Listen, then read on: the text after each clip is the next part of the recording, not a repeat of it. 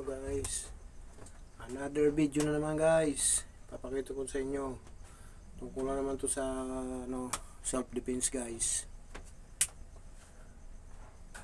Guys. May tuturo naman ako sa inyo guys.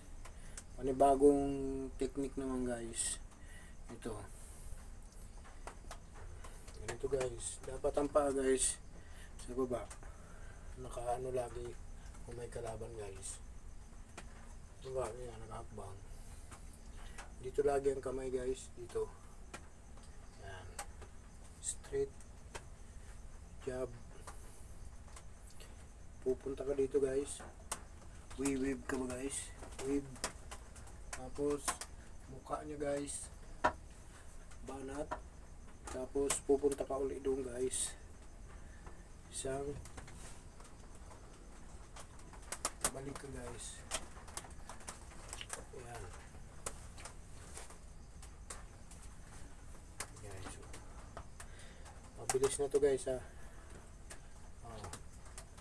1, 2 3 4 5 6 7 yan guys. Ulitin ko guys. Ulitin ko. Isa na lang guys. Mabagal lang. Jab straight wave.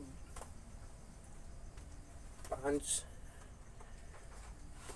hook atras back piece back piece jab dito uli.